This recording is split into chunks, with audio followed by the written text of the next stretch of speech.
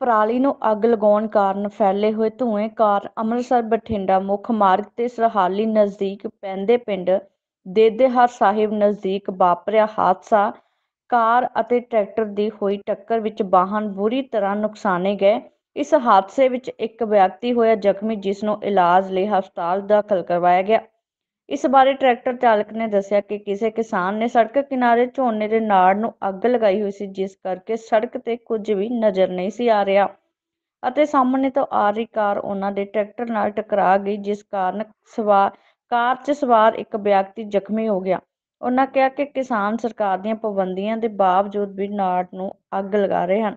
ਜਦ ਕਿ ਇੱਕ ਹੋਰ ਜਾਣਕਾਰ ਨੇ ਦੱਸਿਆ ਕਿ ਖੇਤਾਂ ਵਿੱਚ ਚਾਰ ਲੋਕ ਮੌਜੂਦ ਸਨ, ਜੋ ਨਾੜ ਨੂੰ ਅੱਗ ਲਗਾ ਰਹੇ ਸਨ। ਉਹਨਾਂ ਕਿਹਾ ਕਿ ਪੁਲਿਸ ਨੇ ਕਿਸਾਨਾਂ ਨੂੰ ਨੋਟ ਕਰ ਲਿਆ ਗਿਆ ਹੈ ਅਤੇ ਪੁਲਿਸ ਥਾਣਾ ਸਰਹਾਲੀ ਵੱਲੋਂ ਬਣਦੀ ਕਾਰਵਾਈ ਅਮਲ ਵਿੱਚ ਲਿਆਂਦੀ ਜਾ ਰਹੀ ਹੈ। ਭਿੱਖੀ ਪਿੰਡ ਤੋਂ ਦਲਵੀਰ ਉਦੋਕੇ ਦੀ ਲੋਕ ਭਲਾਈ ਦਾ ਸੁਨੇਹਾ ਟੀਵੀ ਲਈ ਖਾਸ ਰਿਪੋਰਟ। ਜਿੰਦਰ ਸਿੰਘ ਜੀ। ਪਿੰਡ? ਪਿੰਡ ਰਾਮਿਆਣਾ ਜੀ। ਕੀ ਗੱਲਬਾਤ ਹੋਈ ਵੀਰ ਜੀ ਤੁਹਾਡੇ ਨਾਲ ਇੱਥੇ? ਅਹ ਇਹ ਨਾ ਜੀ ਸਾਡਾ ਟਰੈਕਟਰ ਆ ਰਿਹਾ ਸੀਗਾ ਵੱਡੇ ਰੋਡ ਤੋਂ ਮੇਨ ਹਾਈਵੇ ਤੋਂ ਜੀ ਤੇ ਇੱਧਰ ਦਦੇਰ ਸਾਹਿਬ ਜਾ ਰਿਹਾ ਸੀਗਾ ਜੀ ਤੇ ਅੱਗੋਂ ਕੋਈ ਕਾਰ ਆ ਰਹੀ ਸੀਗੀ ਜੀ ਬਾਈ ਜੀ ਉਹਨਾਂ ਨੂੰ ਅਸੀਂ ਜਾਣਦੇ ਤਾਂ ਨਹੀਂ ਜੀ। ਤੇ ਇੱਥੇ ਇੱਕ ਨਾਲ ਹੀ ਖੇਤ ਦੇ ਵਿੱਚ ਪਰਾਲੀ ਨੂੰ ਅੱਗ ਲਾਈ ਹੋਈ ਸੀ ਜੀ। ਉਹ ਪਰਾਲੀ ਨੂੰ ਅੱਗ ਲਾਉਣ ਦੇ ਕਾਰਨ ਪਰਾ- ਜਦੋਂ ਧੂਆਂ ਆਇਆ ਜੀ, ਉਹ ਨਾ ਤਾਂ ਕਾਰ ਵਾਲੇ ਬਾਈ ਜੀ ਨੂੰ ਕੁਝ ਪਤਾ ਲੱਗਿਆ ਤੇ ਨਾ ਹੀ ਸਾਡਾ ਜਿਹੜਾ ਡਰਾਈਵਰ ਚਲਾ ਰਿਹਾ ਸੀਗਾ ਜੀ ਉਹਨੂੰ, ਨਾ ਹੀ ਉਹਨੂੰ ਕੋਈ ਸਮਝ ਲੱਗੀ। ਉਹਦੇ ਕਾਰਨ ਇੱਕ ਟੱਕਰ ਹੋ ਗਈ ਜੀ ਇਹ, ਤੇ ਜੋ ਕਿ ਐਕਸੀਡੈਂਟ ਹੋ ਗਿਆ। ਅਜੇ ਇਹ ਬਚਤ ਰਹੇਗੀ ਵੀ ਕੋਈ ਜਾਨੀ ਨੁਕਸਾਨ ਨਹੀਂ ਹੋਇਆ, ਪਰ ਉਹ ਇੱਕ ਬਾਈ ਜੀ ਦੇ ਲੱਤ ਤੇ ਸ਼ਾਇਦ, ਪਤਾ ਨਹੀਂ ਤਾਂ ਲੱਤ ਟੁੱਟੀ ਆ ਜਾਂ ਕੋਈ ਦਾਬ ਆਈ ਆ ਜੀ, ਉਸ ਚੀਜ਼ ਬਾਰੇ ਹਜੇ ਡਾਕਟਰ ਕਲੀਅਰ ਕਰ ਰਹੇ ਆ ਅਸੀਂ ਤਾਂ ਆਪ ਪਰਾਲੀ ਦੀਆਂ ਗੱਠਾਂ ਬੰਨ੍ਹਦੇ ਆ ਸਾਡੇ ਕੋਲੇ ਬੇਲਰ ਆ ਜੀ। ਹੁਣ ਦੇਖੋ, ਅਸੀਂ ਦੂਜੇ, ਸਾਡਾ ਏਰੀਆ ਹੋਰ ਆ ਜੀ, ਅਸੀਂ ਇੱਥੇ ਫਿਰਦੇ ਆ ਜੀ ਤਾਂ ਪਰਾਲੀ ਚੱਕਣ ਦੇ ਮਾਰੇ ਆਏ ਸੀਗੇ ਜੀ। ਜੇ ਹੁਣ ਅਸੀਂ ਇਹ ਗੱਲ ਕਹਿੰਦੇ ਆ ਜੀ ਵੀ ਪਰਾਲੀ ਸਾੜਨੀ ਗਲਤ ਗੱਲ ਅਗਲਾ ਕਹਿੰਦਾ ਤੁਸੀਂ ਮਸ਼ੀਨ ਕਰਕੇ ਕਹਿੰਦੇ ਹੋ ਜੀ, ਪਰ ਅਸੀਂ ਸਾਨੂੰ 6 ਸਾਲ ਹੋ ਗਿਆ ਆਪ ਨੂੰ ਜੀ। ਅਸੀਂ ਕਦੇ ਵੀ ਨਾ ਤਾਂ ਕਣਕ ਵਾਲਾ ਨਾੜ, ਝੋਨੇ ਵਾਲਾ ਨਾੜ ਤਾਂ ਅਸੀਂ ਸਾੜਨਾ ਹੀ ਕੀ ਆ, ਕਿਉਂਕਿ ਸਾਡੇ ਕੋਲੇ ਬੇਲਰ ਆ ਜੀ। ਅਸੀਂ ਕਦੇ ਵੀ ਅੱਗ ਨਹੀਂ ਲਾਈ, ਪਰ ਜਿਹੜੀ ਆਪਾਂ ਇਨਸਾਨੀਅਤ ਤੌਰ ਤੇ ਜਾਂ ਪ੍ਰਦੂਸ਼ਣ ਤੌਰ ਤੇ ਦੇਖੀਏ ਤਾਂ ਅੱਗ ਲਾਉਣਾ ਗਲਤੀ ਆ ਜੀ। ਕਿਉਂਕਿ ਸਰਕਾਰ ਵੀ ਚਲੋ ਕਹਿ ਰਹੀ ਹੈ ਵੀ ਆਪਾਂ ਨੂੰ ਅੱਗ ਨਹੀਂ ਲਾਉਣੀ ਚਾਹੀਦੀ, ਜਿਵੇਂ ਵੀ ਇਹਦਾ ਹੱਲ ਹੁੰਦਾ ਵੀ ਬੇਲਰ ਨਾਲ ਜਾਂ ਆਪਾਂ ਨੂੰ ਕਿਵੇਂ ਵੀ ਜ਼ਮੀਨ 'ਚ ਦੱਬੀਏ ਜਾਂ ਜਿਹੜੇ ਤਰੀਕੇ ਨਾਲ ਵੀ ਹੁੰਦਾ ਵੀ ਆਪਾਂ ਨੂੰ ਕਰਨਾ ਚਾਹੀਦਾ। ਜਿਹੜਾ ਅੱਗ ਵਾਲਾ ਕੰਮ ਆ ਜੀ ਉਹ ਤਾਂ ਵੈਸੇ ਗਲਤ ਹੈ ਜੀ। ਸਾਰਿਆਂ ਦੇ ਆਪਾਂ ਨੂੰ ਪਤਾ ਹੀ ਹੈ ਜੀ। ਜੀ ਮੇਰਾ ਨਾਮ ਪਰਮਪਾਲ ਸਿੰਘ ਜੀ। ਪਿੰਡ? ਪਿੰਡ ਸਭਰਾ ਹੈ ਜੀ। ਕੀ ਗੱਲਬਾਤ ਹੋਈ ਜੀ? ਗੱਡੀ ਮੇਰੇ ਫਾਦਰ ਸਾਹਿਬ ਸਰਦਾਰ ਸੁਖਵਿੰਦਰ ਸਿੰਘ ਚਲਾ ਰਹੇ ਸੀਗੇ ਇਹ ਸਾਡੀ ਸਵਿਫਟ ਹੈ। ਤੇ ਤੁਸੀਂ ਦੇਖ ਪਾ ਰਹੇ ਹੋ ਇਹ ਘਟਨਾ ਜਿਹੜੀ ਹੈ ਉਹ ਦਦੇਰ ਸਾਹਿਬ ਪਿੰਡ ਤੋਂ ਜਿਹੜਾ ਅੰਮ੍ਰਿਤਸਰ ਬਠਿੰਡਾ ਹਾਈਵੇ ਹੈ ਉਹਦੇ ਤੇ ਇੱਕ ਛੋਟੀ ਜਿਹੜੀ ਸੜਕ ਸੀਗੀ ਉਹਦੇ ਉੱਤੇ ਇਹ ਘਟਨਾ ਹੋਈ ਹੈ।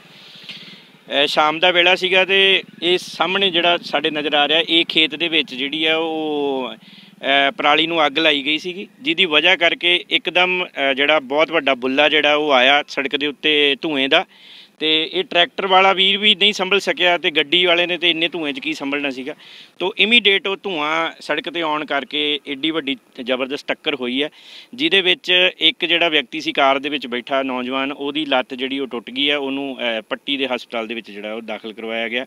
ਸੋ ਇਹ ਬਹੁਤ ਮੰਦਭਾਗੀ ਘਟਨਾ ਹੈ, ਕਿਉਂਕਿ ਜਦੋਂ ਸਰਕਾਰ ਪੂਰੀ ਤਰ੍ਹਾਂ ਜ਼ੋਰ ਲਾ ਰਹੀ ਹੈ, ਮੀਡੀਆ 'ਚ ਇੰਨਾ ਕਰੋੜਾਂ ਰੁਪਈਆ ਖਰਚ ਕਰਕੇ ਇਸ਼ਤਿਹਾਰ ਦਿੱਤੇ ਜਾ ਰਹੇ ਨੇ ਔਰ ਇੰਨੀ ਵੱਡੇ ਪੱਧਰ ਤੇ ਪੂਰੇ ਪੰਜਾਬ ਦੇ ਵਿੱਚ ਕੈਂਪੇਨ ਚਲਾਈ ਜਾ ਰਹੀ ਹੈ ਕਿ ਤੁਸੀਂ ਪਰਾਲੀ ਨੂੰ ਨਾ ਸਾੜੋ, ਸਬਸਿਡੀਆਂ ਸਰਕਾਰ ਦੇ ਰਹੀ ਹੈ ਔਰ ਬਾਰ-ਬਾਰ ਕਿਸਾਨਾਂ ਨੂੰ ਬੇਨਤੀ ਕੀਤੀ ਜਾ ਰਹੀ ਹੈ। ਖੇਤੀਬਾੜੀ ਮਿਨਿਸਟਰ ਜਥੇਦਾਰ ਸ੍ਰੀ ਅਕਾਲ ਤਖਤ ਸਾਹਿਬ ਗਿਆਨੀ ਹਰਪ੍ਰੀਤ ਸਿੰਘ ਨੂੰ ਮਿਲਦੇ ਨੇ ਆ ਕੇ ਕਿ ਤੁਸੀਂ ਜੀ ਧਾਰਮਿਕ ਤੌਰ ਦੇ ਉੱਤੇ ਵੀ ਕਿਸਾਨਾਂ ਨੂੰ ਕਹੋ ਕਿ ਇਹ ਪਰਾਲੀ ਨੂੰ ਅੱਗ ਨਾ ਲਾਈ ਜਾਵੇ।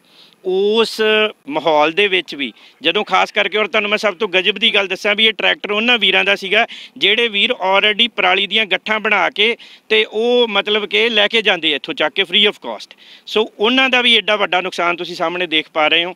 ਤੇ ਮੈਂ ਪ੍ਰਸ਼ਾਸਨ ਤੋਂ ਇਹ ਮੰਗ ਕਰਦਾ ਕਿ ਪਰਾਲੀ ਨੂੰ ਸਾੜਨ ਵਾਲਿਆਂ ਤੇ ਜਿੱਥੇ ਇਹ ਕਾਰਵਾਈ ਕਰਨੀ ਬਣਦੀ ਹੈ ਕਿ ਉਹਨਾਂ ਨੇ ਸਰਕਾਰ ਦੇ ਨਿਯਮਾਂ ਦੀ ਉਲੰਘਣਾ ਕੀਤੀ ਹੈ ਉੱਥੇ ਨਾਲ ਇਹ ਐਕਸੀਡੈਂਟ ਦਾ ਕਾਰਨ ਬਣਿਆ ਤੇ ਉਹ ਜਿਹੜੀ ਇੰਜਰੀ ਹੋਈ ਹੈ ਉਹਦੇ ਲਈ ਉਹਨਾਂ ਨੂੰ ਰਿਸਪੌਂਸੀਬਲ ਜਾਣਦਿਆਂ ਹੋਇਆਂ ਜਿਹੜਾ ਉਹ ਇਮੀਡੀਏਟ ਇਹਨਾਂ ਦੇ ਉੱਤੇ ਐਕਸ਼ਨ ਕਰਕੇ ਤੇ ਇਨਸਾਫ ਦਿੱਤਾ ਜਾਵੇ।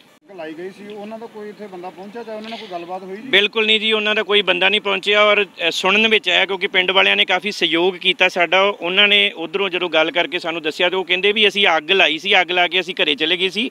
ਐਕਸੀਡੈਂਟ ਅਸੀਂ ਨਹੀਂ ਕਰਾਇਆ। ਇਹ ਐਕਸੀਡੈਂਟ ਇਹਨਾਂ ਦਾ ਆਪੇ ਹੀ ਹੋ ਗਿਆ। ਸੋ ਇਸ ਕਰਕੇ ਉਹਨਾਂ ਨੇ ਪੱਲਾ ਝਾੜਨ ਦੀ ਕੋਸ਼ਿਸ਼ ਕੀਤੀ ਹੈ ਜਿਹੜੀ ਇਸ ਤੋਂ ਵੀ ਜ਼ਿਆਦਾ ਮੰਦਭਾਗੀ ਹੈ ਵੀ ਇੱਕ ਤੁਸੀਂ ਕਾਨੂੰਨ ਤੋੜਦੇ ਹੋ ਕਿਹੜੇ ਕਿਸਾਨ ਵੱਲੋਂ ਲਾਈ ਗਈ ਜੀ ਅਭੀ ਇੱਥੇ ਵੀਰੇ ਮੈਨੂੰ ਅਜੇ ਨਾਂ ਨਹੀਂ ਪਤਾ ਲੱਗਾ ਉਹ ਪੁਲਿਸ ਵੈਰੀਫਿਕੇਸ਼ਨ ਕਰ ਰਹੀ ਕਿਉਂਕਿ ਪੁਲਿਸ ਮੌਕੇ ਤੇ ਪਹੁੰਚੀ ਹੈ। ਸਰਿਆਲੀ ਦੀ ਪੁਲਿਸ ਜਿਹੜੀ ਹੈ ਮੇਰੀ ਐਸਓਜੀ ਸਾਹਿਬ ਨਾਲ ਗੱਲ ਹੋਈ ਸੀਗੀ। ਮੌਕੇ ਦੇ ਉੱਤੇ ਪੁਲਿਸ ਪਹੁੰਚੀ ਹੈ ਉਹਨਾਂ ਨੇ ਸਾਰੇ ਤਰ੍ਹਾਂ ਦੇ ਜਿਹੜੇ ਆ ਉਹ ਬਿਆਨ ਲਏ ਨੇ। ਤੇ ਉਹ ਆਪੇ ਪੁਲਿਸ ਇਨਵੈਸਟੀਗੇਟ ਕਰੇਗੀ ਕਿ ਕਿਹੜੀ ਧਿਰ ਨੇ ਕਿਹੜੇ ਕਿਹੜੇ ਬੰਦੇ ਸੀਗੇ ਕਿੱਥੋਂ ਦੇ ਸੀਗੇ ਜਿਨ੍ਹਾਂ ਨੇ ਅੱਗ ਲਾਈ। ਇਹ ਜ਼ਰੂਰ ਹੈ ਕਿ ਉਹ ਚਾਰ ਬੰਦੇ ਵੇਖੇ ਗਏ ਨੇ ਧੂਏ ਦੇ ਵਿੱਚ ਦੀ ਕਿ ਉਹ ਚਾਰ ਬੰਦੇ ਖੜੇ ਸੀ ਜਿਨ੍ਹਾਂ ਨੇ ਜਿਹੜੀ ਆ ਉਹ ਅੱਗ ਲਾਈ ਹੈ ਸਰ।